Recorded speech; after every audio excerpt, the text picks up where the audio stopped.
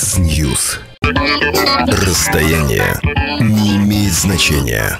Мне где-то еще минут семь надо для того, чтобы добраться до дома.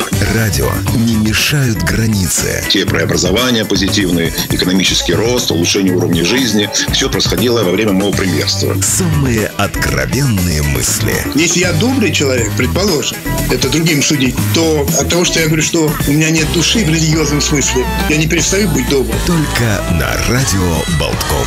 Программа «Абонент доступен».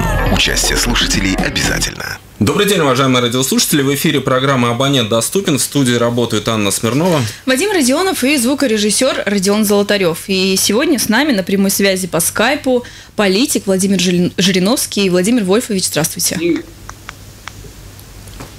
Владимир Да. Вольфович, слышите ли вы нас?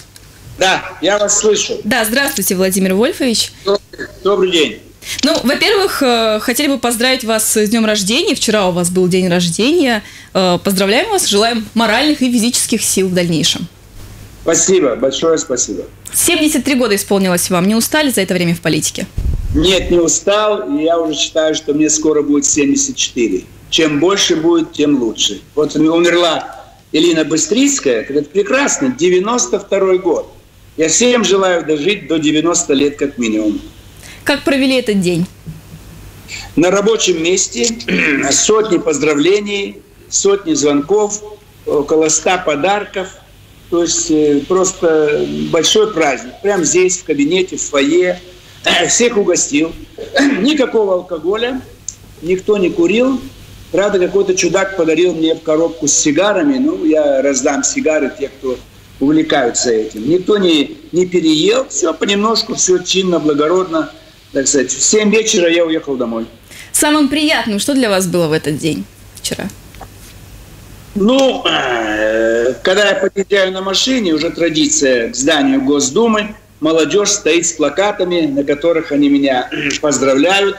Вот, поднимаюсь наверх, здесь тоже полное фойе людей, и гимн, э, наш хор, мужской хор ЛДПР, исполняет несколько э, песен, том числе и гимн Старой России «Боже, царя храни». Потом уже в кабинете начинаются делегации, все несут цветы, самые-самые разные подарки. Вот один из самых таких редких, мне подарили книгу «Пистолеты и револьверы всего мира». То есть собраны образцы этих, вот этого вида оружия со всего мира. У меня никогда не было, даже представления не имел, сколько видов, разновидностей. Вот. Ну, там мне что-то э, дарили там и икру, и коньяк армянский, самые разные подарки, там потребительские, антикварные, и картины. Ну, я все отправляю в музей. Там уже 3000 моих подарков. Я думаю, что музей, где самые-самые разные подарки. Поэтому, э, как бы, я думаю, что все, кто посещают его экскурсии, они не- не частые, но бывают, им будет очень интересно. Ну вот интересно, что МИД Латвии тоже отметил вашу политическую деятельность. Буквально на днях МИД Латвии передал ноту протеста посольству России в связи с вашим митингом у посольства Латвии в России. Вы защищали Нила Ушакова. Кстати, сколько нот э, вообще э, международных в ваш адрес э, не подсчитывали было подано за всю историю вашей политической деятельности? За 30 лет больше всего нот протеста в МИД пришло именно по поводу выступления ЛДПР. И британское посольство, и американское, латвийское, эстонское, значит, это вот э, испанское. Но мы выступаем ведь в защиту, в основном нацменьшинств. Скажем, у испанского посольства в защиту каталонцев, их требования независимости. У прибалтийских посольств в защиту русских. В данном случае конкретное действие, связанное с незаконной отставкой мэра Риги Нила Ушакова. Мы это решили как бы э, отдельно обозначить. А смысл ноты мне непонятно. Во всех странах мира у посольств проходят акции. Мы никогда не сжигаем флаги стран, у чьих посольств проводим акцию. Никогда не оскорбляем руководителей этих стран. Но мы имеем полное право защищать русских, русский мир. И именно наши соседи, это Эстония, Латвия, Литва, Украина, Польша, Молдавия, вот то, что на Западе, на Западе, так сказать, оказались отрезанными, русские земли с русским населением, мы требуем защищать, так сказать, чтобы они э, могли свободно пользоваться русским языком и иметь все права, участвовать в выборах.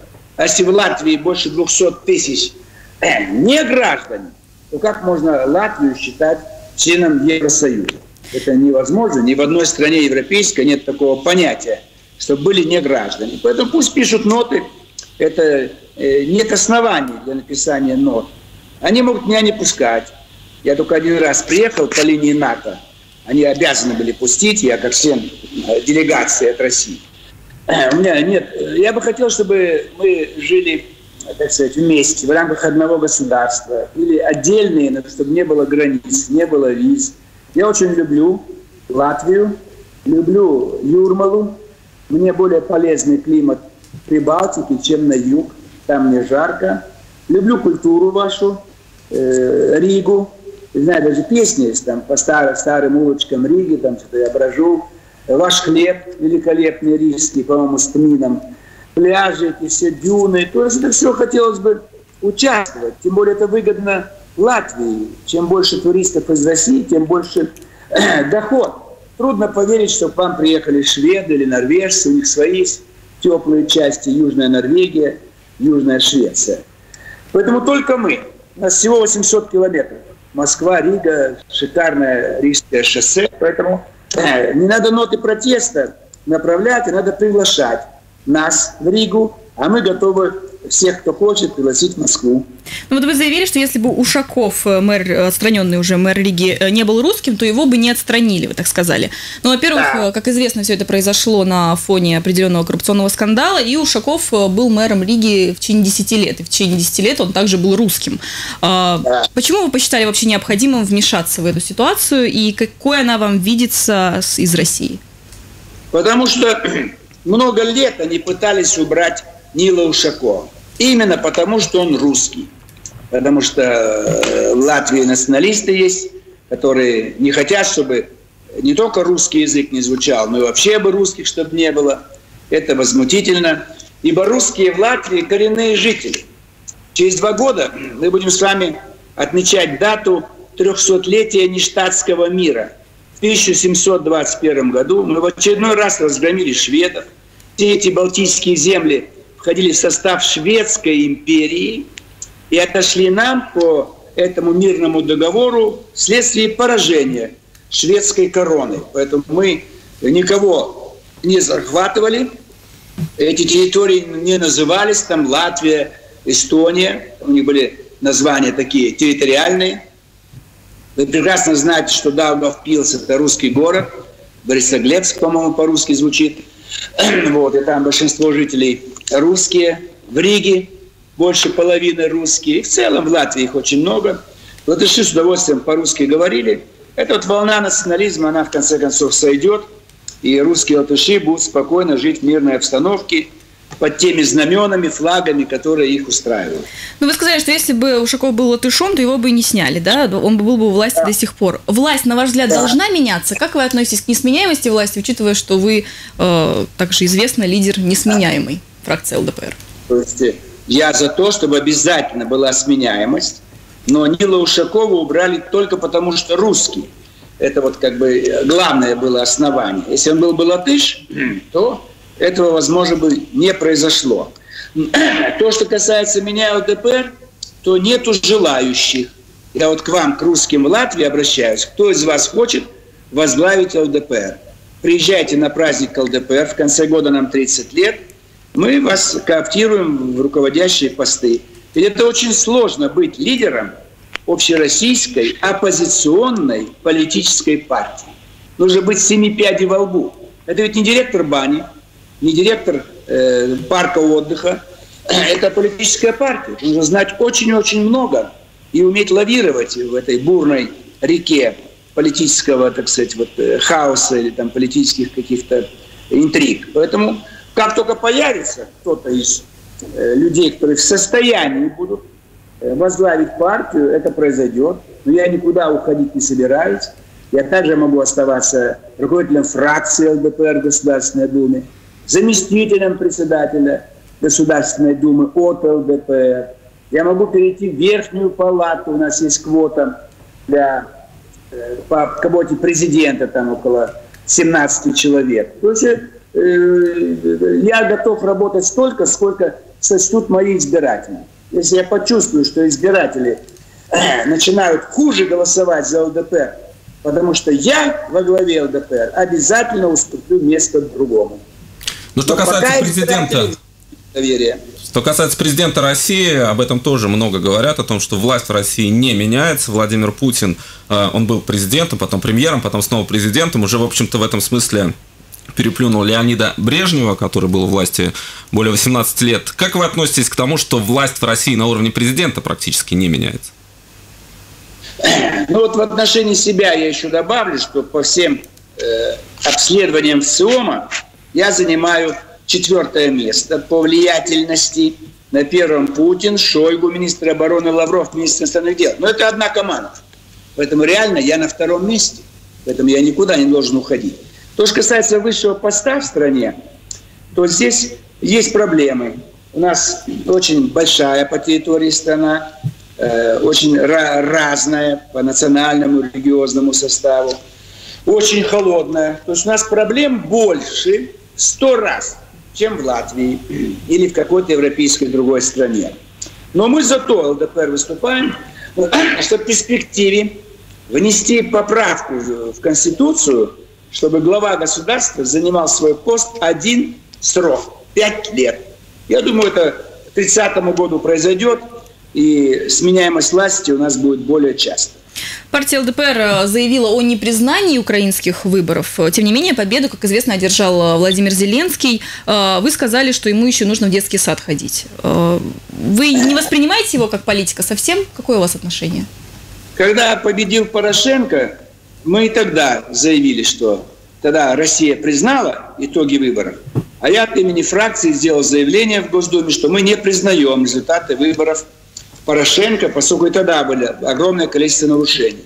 Сейчас мы тоже авторы проекта постановления Госдумы о непризнании выборов на Украине, последних президентских. Если Госдума после майских каникул э, проголосует за, то президент может использовать это принятое постановление и продолжать не признавать итоги выборов. То, что касается Зеленский, я с ним никогда не встречался, но возглавить страну в Европе по территории очень большую и по населению, это же не Монако, не Лихтенштейн, не Люксембург. Это пятая страна после Германии, Франции, Италии, Британии. И не иметь никакого образования, связанного с управленческими функциями, да, в состоянии, э, в том, в котором находится Украина, которая практически ведет войну против собственного населения, гражданская война идет, гибнут много людей, то здесь должен быть более опытный человек. И у них там было 30, э, 39, по-моему, э, кандидатов, и вполне можно было подобрать более опытного. Поэтому э, Зеленский не виноват ни в чем. Он занимался передачами, был продюсером. Передачи могут быть хорошие. Я ни одну, правда, не видел никогда. И фильм не видел про этого э, «Слуга народа». Вот. Но э, я 30 лет руковожу партией. Шесть раз был кандидат в президенты. И, видимо, избиратели не смогли увидеть во мне того человека, который был бы в состоянии руководить страной. Иначе я бы победил. Так мне 73, а ему 41. Ну смешно же. И никакого опыта руководства. Я постоянно и депутат, и руковожу, и, так сказать, много, много, много, много возможностей имел для приобретения политического опыта. Весь мир объехал. Всю страну десятки раз объехал. Выступал на самых различных форумах и еще до сих пор не победил на выборах. А он раз вот мальчик появился, юморист, комедиант, и все, и он э, президент страны. Пожалуйста, он мог театр возглавить. У нас юморист Казанов театр возглавил эстрады.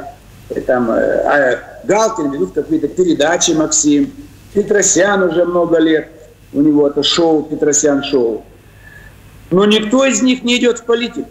И никогда ни в одной стране мира комик, юморист – это очень талантливое направление. Не каждый станет. Но страну возглавлять таким багажом знаний – это насмешка. Но все-таки, если в Европе. Взять исторический пример. Рональд Рейган, голливудский актер, который стал президентом, и есть мнение, достаточно оно популярное, о том, что он был одним из лучших президентов Соединенных Штатов Америки. У него тоже не было такой специальной подготовки. Э, Рональд Рейган начинал актером, но потом он перешел в профсоюз, гильдии актеров. Потом он был губернатором самого большого штата, Калифорния. Потом он э, был в рядах республиканской партии и стал президентом тогда, когда старше моего возраста сегодня, под 80, а не в 40 лет. Поэтому человек любой может быть в детстве актером, врачом. Вот Альенко был врачом, стал президентом. Чем все закончилось? Гражданская война, его убили. А чем был бы опыт больше, чем тогда, когда он стал президентом, он бы до сих пор был бы жив. Поэтому не надо с Рейганом сравнивать. Во многих странах мира женщины, премьер-министры, президенты. Но 90% стран возглавляют мужчины, потому что мир находится в состоянии войны. И женщинам тяжело принимать решения в условиях войны. Дальнейшее развитие отношений украинско-российских, каким вы видите после выборов сейчас? Я думаю, мы в соответствии с указом президента ускорится приобретение российского гражданства сотнями тысяч украинцев – Прекратится обстрел Донбасса, Луганска, как это произошло в Абхазии, в Южной Осетии. Там нет ни одного выстрела больше. Потому что все жители Абхазии и Южной Осетии – граждане России. И нападение на них означает нападение на Россию. А значит, это полное уничтожение агрессора. Поэтому э, те части Украины, которые хотят жить в условиях свободы и мира – они могут все вступить в российское гражданство и получить защиту российского государства. Вот вопрос от наших радиослушателей мы активно получаем в Фейсбуке. Роман задает вам вопрос, явля... являлись ли вы агентом КГБ СССР? И являетесь Никогда. ли вы агентом ФСБ? Об этом, э, так сказать, это подтверждал э, депутат Ковалев, в прошлом был председателем КГБ, Крючков, э, Владимир Александрович выпустил мемуары личное дело. И там тоже, вот вам э, наш пресс-секретарь Дюпин вам вышлет отрывки да. из этой книги, где Крючков еще раз подтверждает, что никогда я, Жириновский, не был ничьим агентом.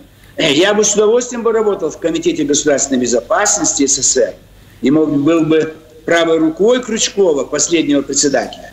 И ГКЧП победил бы с моим участием, но, к сожалению, никогда не был. Я всегда был беспартийный. В КГБ никогда беспартийных не брали. И в КПСС не состоял. Поэтому не был. Но если был бы, я бы гордился этим. Еще Роман спрашивает у вас, есть ли собственность у Владимира Жириновского на Западе? Если Украину считать Западом, то в городе Костополе, Ровенской области, до сих пор работает фабрика, построенная моим дедом в 1905 году то есть 114 лет назад. Хорошо работает. И в 1940 году ее национализировали, а дедушку, так сказать, расстреляли немцы, а его отца НКВД посадила в тюрьму, его э, сына, моего отца. Так что вот такие права собственности закончились. Я оформил все наследственные права. После дедушки стал наследником мой отец, а он умер я. Придет время, я эту фабрику верну. Но это практически не мое, это от дедушки осталось. А так нигде, ни одного, э, так сказать, ни одной табуретки, которая мне бы принадлежала, находилась бы на Западе, нету. Нигде ни одного счета нету, и большинство стран Европы пытаются меня не, не, не впускать в их страны, э, так сказать, боятся моих взглядов за свободу и демократию. А у них свобода и демократия ограничены везде, и в Латвии, и в Германии, и в Британии, и во Франции и так далее. Еще, да. да, вопрос от Романа. Э, Владимир Жириновский гей, спрашивает он. С какой стати вдруг он это спрашивает? Ну, вот такой Я... вопрос пришел. Мы зачитываем вопросы от слушателей как, как без ну, купюр цензуры. Да, такие вопросы задавать нельзя, это чудовищно. А если я, так сказать, вам задам вопрос, допустим, кто-то из вас наркоман там, или проститутка, ну так не, не ведутся интервью. Может быть, он сам относит себя к этой категории граждан, то есть я никакого отношения не имею. Ну, как вы относитесь к ЛГБТ-сообществу и защите их прав? Ну, если их защищают в каких-то странах, э, видимо, есть для этого основания. Вот. У нас э, этот вопрос как-то так второстепенный, особенно не обсуждается. И у нас в ЛДПР он в повестке дня нигде не стоит. К нам никто не обращался за защитой или, наоборот, за критикой и этого, э, так сказать, на меньшинства социального или какого-либо другого. Вот э, когда принимался закон в России недавно о так называемом э, суверенном Рунете, у вас в партии произошел конфликт, как писали, по крайней мере, в СМИ, потому что Андрей Луговой, э, член партии ЛДПР, он поставил под ним свою подпись. Вы же попросили эту подпись отозвать, он сказал, что все равно подпись останется. Вы сказали после, что будет применено к нему определенное дисциплинарное наказание. Наказали его? Нет, стали наказывать, поскольку он в чем-то прав люди недовольны. Люди боятся, что суверенный или автономный, лучше называть, интернет э, может как бы ограничить э, права пользователей интернета. Вот. Но мы э, исходим из того, что это больше безопасность. Вот, допустим, чтобы кто-то не, не попытался отключить наших пользователей интернета от всеобщей этой паутины всемирной. Он есть, но он не будет никак действовать. Пока действует всемирная сеть интернета, проблем нет. Если где-то кто-то попытается нам помешать пользоваться всемирной сетью, то у нас есть возможность включить свой автономный. Вот простой пример. У вас погас свет, поломка где-то там произошла. У вас есть генератор, вы включили его, и у вас снова горит свет в квартире. Вот у меня генератор стоит, но один раз всего за 20 лет была необходимость его включать. Свет все время горит. Но когда он погас, автоматически заработал генератор. И я не испытывал трудностей э, в связи с тем, что э, значит, есть авария на линии электропередач. Поэтому он никому не мешает, не вредит. Это запасной вариант, если кто-то попытается мешать нашим пользователям пользоваться всемирной сетью интернет.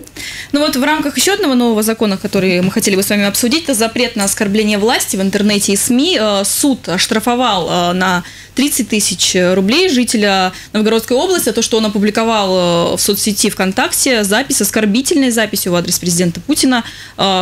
Насколько она оскорбительна, конечно, решил суд. Но вот как вы к этому относитесь? В принципе, во многих странах мира есть наказание административное и уголовное за оскорбление представителей власти. То есть это не имеет отношения к зажиму критики. Пусть все критикуют, как хотят. Вот я у латвийского посольства в Москве ни одного оскорбления не высказал в адрес руководителя Латвии. Но я критиковал их за э, отношение к русским, за зажим русского языка и за наличие э, в стране неграждан. А так и здесь. Речь идет только о том, что если будут какие-то оскорбления э, такого ну, э, очень э, вызывающего, нецензурная брань, как в данном случае человек употребил такое слово, которое последние хулиганы сегодня друг другу не скажут никогда. И поэтому его за это наказали. Вот обязательно все пускай критикуют, но нельзя, так сказать, оскорблять людей.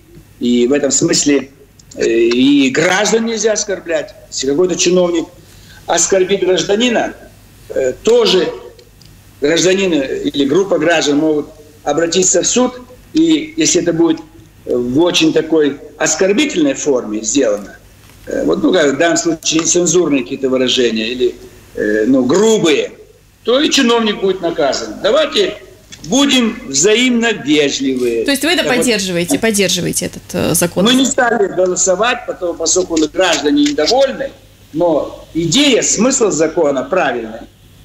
Ну, Но... если, например, о вас напишут Жириновский, скажем, да, Владимир Жириновский, какое-то, ну, не знаю, исконно русское слово, а как вы к да. этому будете сторонником того, чтобы этого человека оштрафовали? Обязательно, обязательно наказать, чтобы он э, на будущее не пытался э, меня вот э, как-то использовать против меня какие-то оскорбительные выпады. Я сам никогда не позволю. Говорю, что человек не прав, не нужно это делать, плохо это это вредит нам.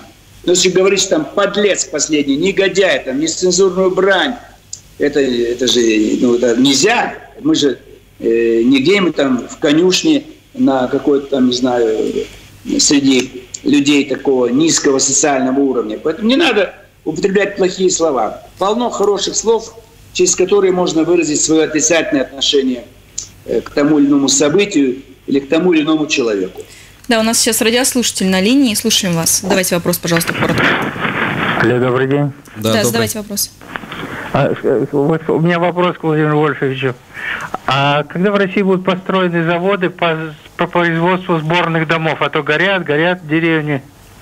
Да, вот. спасибо вам за вопрос.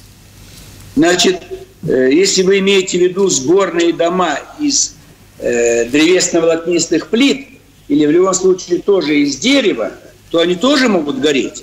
То есть это э, из дерева дома все-таки лучше, чем из кирпича, бетона.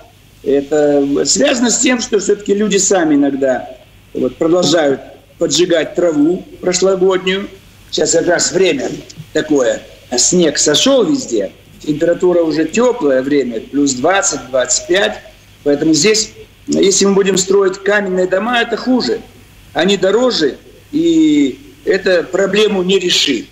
И в этом смысле значит, э, очень много у нас лесов. Если бы не было лесов, трава вокруг дома может загореться и тоже по, э, нанесет какой-то ущерб.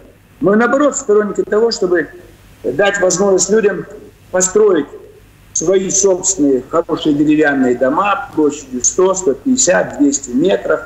Они будут экологически более чистыми. Поэтому дерево надо использовать для строительства, для мебели и так далее. Вопрос от э, нашего радиослушателя из Германии. Он у вас спрашивает э, вот такой вопрос. Интересует следующее. Я житель Германии, родился и вырос в Латвии, наблюдаю за немецкими пенсионерами, ветеранами страны, проигравшей войну, которые завтракают каждый день булочных с чашкой кофе за 3,50 евро.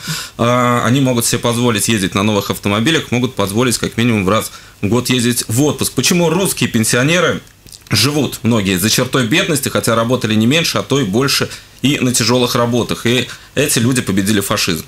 Как вы можете прокомментировать? Вот этот товарищ, который в Германии живет, он должен знать, что миллионы людей были угнаны в Германию, чтобы там бесплатно работать. Одна из причин немецкого чуда. И Германия фашистская ограбила всю Европу, э, забрав все там золото, серебро, деньги – все, что есть дорогое, э, и увезли в Германию. То есть это страна, которая ограбила Европу. Поэтому, когда немецкий пенсионер э, завтракает там за 3,50 евро, он должен помнить, что кровь для немецких граждан забирали у русских младенцев, ну, детей, не обязательно младенцев, чтобы они, немцы, их было много, чтобы они были более здоровые. Поэтому немцам бы лучше молчать ибо они столько преступлений совершили за две мировые войны, что хвалиться тем, что они там булочку э, э, завтракают и кофе, или катаются куда-то там по заграницам, это все за чужой счет, за счет грабежей. Поэтому у всего мира всегда будет ненависть к немцам за обе две мировые войны, которые развязали немцы, проиграли, до сих пор оккупированы. Поэтому радоваться немцам нечего всеобщая ненависть всей Европы к этому народу, и страна оккупирована, она не свободная. А русские пенсионеры живут в самой свободной стране, в самой широкой демократии. То, что я сейчас сказал, в Германии нельзя говорить, в Латвии нельзя говорить, а у нас можно говорить. Поэтому у нас больше свобод. А завтракают наши пенсионеры не хуже, чем ваши в Германии или в Латвии. А ездить у нас такая огромная страна, что ее всю объехать жизни не хватит. Вот. Поэтому здесь нет проблем. У нас есть свой юг, Кавказ, Крым и на Дальнем Востоке есть свои а, отличные туристические места. Поэтому то, что немецкий пенсионер, э, так сказать, вы считаете, живет лучше, это за счет допинга, за счет ограбления всей Европы и в первую очередь России. Еще звонок у нас. Э, задавайте вопрос, пожалуйста. Да, пожалуйста, коротко. А, алло, добрый день.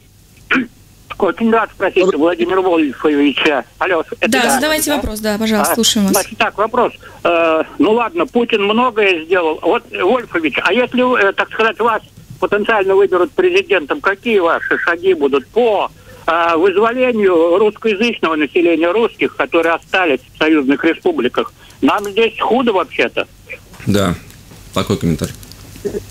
Если бы я был бы избран президентом, шесть раз я баллотировался, вот и 18 год, 12 там, 8 то не было бы уже никакой проблемы с русскими в Прибалтике.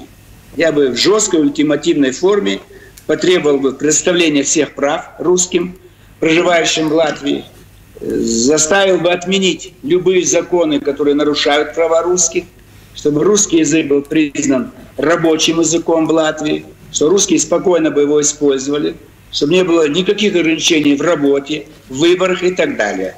И Латвия выполнила бы все мои требования, если бы я их заявил как президент России. То же самое на Украине.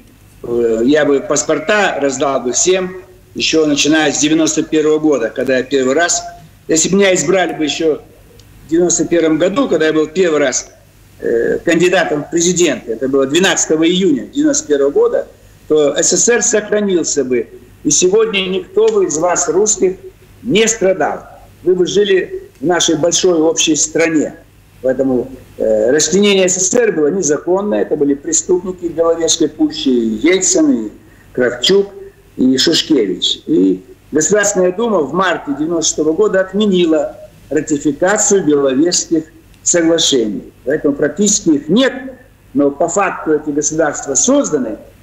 Поэтому время покажет, и я уверен, что русский мир будет защищен. Особенно русские, которые живут в пограничных территориях. Прибалтика, Украина и так далее. Вот вопрос от нашей радиослушательницы Риты. Она спрашивает, э, ваши внуки учатся в Швейцарии, это очень дорогое удовольствие. Как вы это можете прокомментировать? Мои внуки не учатся в Швейцарии. И это вопросы к их отцу. И это обмен есть студенческий. Люди э, учатся, полно иностранцев учатся в наших русских вузах. И наши русские студенты – Э, могут учиться где хотят. Я противник того, чтобы часто бывать за границей, но мы же за свободу выступаем. Тогда надо и туристами не ездить за границу, и заграничную одежду не покупать, и заграничные фильмы не смотреть. Но хотят часть молодежи, они едут в другие страны, там учатся, работают, возвращаются. То есть, но в любом случае я противник этого.